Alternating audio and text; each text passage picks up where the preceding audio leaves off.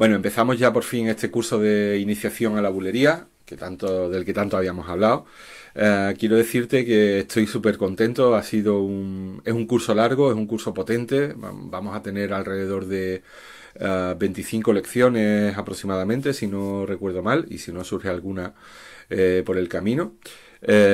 vamos a intentar conocer lo, lo, básico para que puedas empezar a tocar por bulería, ¿vale? Eh, en este caso vamos a, vamos a utilizar, como siempre, lo que, lo que solemos hacer aquí en aprendeguitarra.es, ¿no? Vamos a utilizar las tablaturas, vamos a utilizar el metrónomo flamenco, ojo con eso, ¿vale? Vamos a utilizarlo a dos velocidades, como siempre en estos casos. Vamos a hacerlo a 100 y después a 180, ¿vale? os lo voy a poner aquí, aquí, para que oigáis cómo suena a 100 y cómo suena a 180. Escuchad.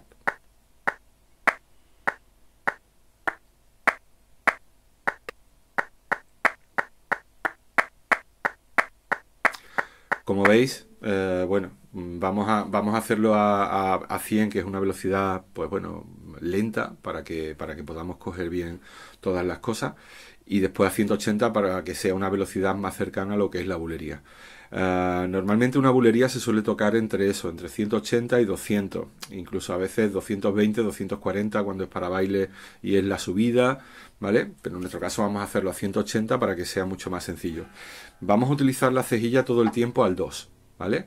Eh, en principio pensaba hacerlo al aire, pero mm, como estamos hablando de cosas que son un poquito más ah, complicadas, ¿vale? Pues vamos a hacerlo al 2 para que, en fin, para que podamos tener las manos un poquito más cerca aquí con los trastes y tal y no nos cueste tanto trabajo, ¿vale?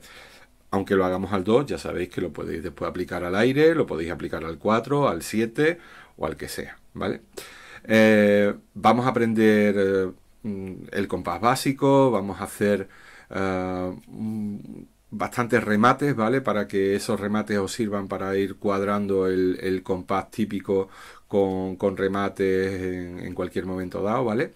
Y después vamos a aprender una serie de falsetas eh, sencillas, ¿vale? Eh, y cuando hablo de sencillas no quiero decir que sean eh, fáciles, ¿vale? Porque tenemos que ir empezando a, enfrentarnos un poco a, bueno, pues a cuál es la realidad, ¿vale? La realidad es que un curso de bulerías, pues intentamos que, tenga lo, bueno, lo, mínimo posible para poder eh, acompañar algo al cante, ¿vale? O, incluso con esas falsetas que vamos a hacer, que serán 6-7 falsetas, pues con eso prácticamente tenemos eh, la posibilidad de, tocar un tema solista, ¿vale?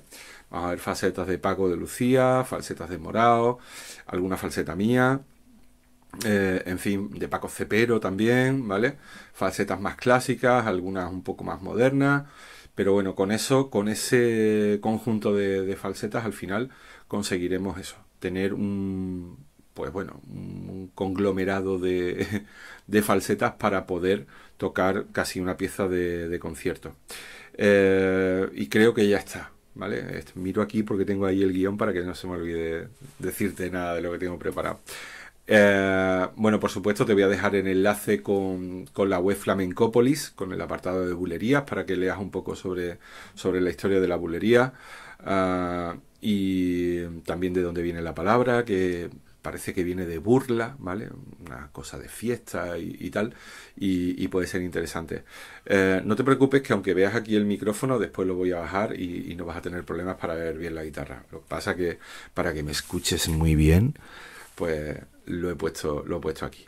Eh, nada más, pasamos ya directamente a la, al módulo 2 donde vamos a empezar a ver pues el compás básico, los tiempos y este tipo de cosas. Espero que lo disfrutes, como siempre, ¿vale? Que lo disfrutes, que te lo pases muy bien. Eh, hazte muy amigo, muy amiga del metrónomo, ¿vale? Porque va a ser tu salvación. Y ya está, vámonos al lío.